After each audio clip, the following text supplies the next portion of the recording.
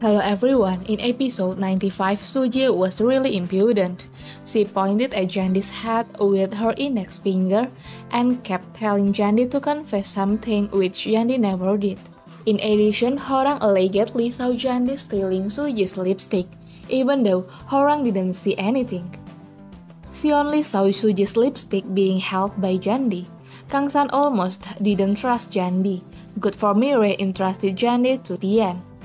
She also found proof that Jandi was not a thief. She looked at the envelope that Junpyo asked from her, and she ordered Suji to ask Junpyo about the lipstick in the Jandi bag. Suji felt very embarrassed. She accused Jandi even though Junpyo was the one who made the mistake. Then Junpyo was forced to tell his family that he liked Jandi, so he put Suji's lipstick in Jandi's bag. He tried to find the lipstick in the online shop, but he didn't find it. Whereas Jandi really wanted the lipstick, therefore he took Suji's.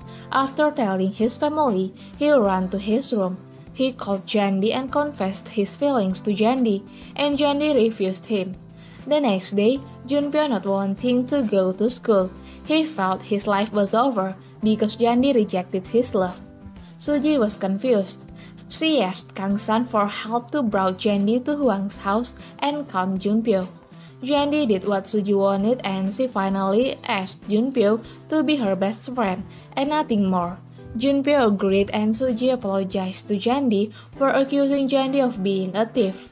And at the end of this episode, Jandi, who had agreed to the relationship between Kang San and Mirai, became Cupid for Mirai and Kang San so that the two of them could date. When they were dating, they met Hongdo and finally, Hongdo found out about Mirai and Kang San's relationship.